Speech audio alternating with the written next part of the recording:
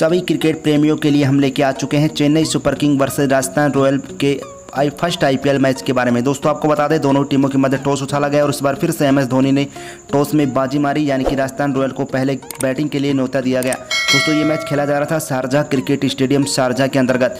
तो Rajasthan royal team की तरफ़ से ओपनर सलामी बल्लेबाज यशस्वी जायसवाल और स्टीव स्मिथ यशस्वी जायसवाल ने छः रन बनाए, लेकिन स्टीव स्मिथ ने एक शानदार कप्तानी पारी खेली और महज सैंतालीस गेंदों में चार चौके और चार छक्कों की मदद से उनहत्तर रन की एक बहुत ही लाजवाब पारी खेली।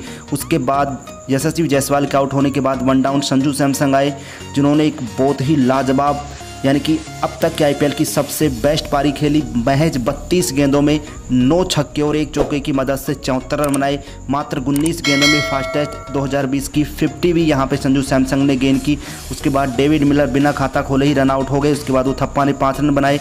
राहुल तेवतिया ने दस रन, रियान प्रयाग ने छः रन और टॉम करन ने दस रन और जोफ्रा अर्चन ने लास्ट के ओवर में बहुत ही लाजवाब पारी खेली। लगातार चार छक्के लगाए, आठ गेंदों में सत्ताईस रन की तीन सौ सैंतीस के स्ट्राइक रेट से बहुत ही लाजवाब पारी खेली। इस तरीके से राजस्थान रॉयल ने 20 ओवरों में 216 रन बनाए, सात विकेट कर गंवाकर, यानी कि आईपीएल 2020 में पहली बार राजस्थान रॉयल ने 200 के पार जो है स्कोर पहुँचाया है। वहीं गेंदबाजी की बात करें तो दीपक चार नुंगी एनगडी और पीयूष चावला को एक एक सफलता मिली और सबसे सफल गेंदबाज रहे चेन्नई की तरफ़ से सैम करन जिन्होंने चार ओवरों में तैतीस रन गंवाकर तीन सफलताएँ हासिल की। अब चेन्नई सुपर किंग को मैच जीतने के लिए टारगेट मिला है 217 रन का।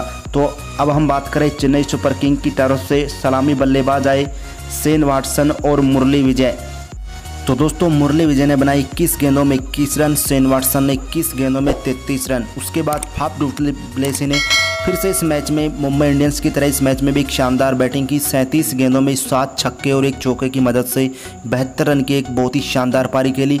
सैम करन ने छः गेंदों में सत्रह रन बनाए, जिसमें दो छक्के और एक चौका शामिल था। ऋतुराज गायकवाड़ जो इस मैच में डेब्यू कर रहे थे, पहली गेंद पर जो थे, जहाँ पे विकेट कीपर द्वारा स्टम्प किए जा चुके थे। उसके बाद केदार जाधव ने भी 16 गेंदों में 22 रन बनाए। महेंद्र सिंह धोनी ने 13 गेंदों में दस रन बनाए। रविंद्र जडेजा ने दो गेंदों में एक रन बनाया। इस तरीके से यहाँ पे हम ओवरऑल बात करें तो चेन्नई सुपर किंग्स टीम ने इस मैच को गवा दिया है। यानी कि राजस्थान रॉयल ने इस बार 2020 में पहली बार जो है, पहले ही मैच में चेन्नई सुपर किंग को मात देकर अपना जो पिछले साल 2019 का जो बदला था वो पूरा किया है। तो दोस्तों, अगर आप भी राजस्थान रॉयल के फ़ैन हैं तो कमेंट बॉक्स में आपको किस खिलाड़ी के खेलने सबसे ज़्यादा प्रभावित किया हो, उस खिलाड़ी का नाम ज़रूर बताइए, चाहे वो बेन स्टिक, यानी कि चाहे वो इसमें स्मिथ हो, संजू सैमसंग हो, या फिर दोस्तों जोफ्रा आर्चर। और दोस्तों, इसी प्रकार से स्पोर्ट्स से रिलेटेड वीडियो देखने के लिए वीडियो के नीचे रेड सब्सक्राइब के बटन को दबा के चैनल को सब्सक्राइब कर लें। पास में बेल घंटे के निशान को दबा के और नोटिफिकेशन को ऑन करें। जानकारी पसंद आई हो तो वीडियो को लाइक शेयर ज़रूर करें।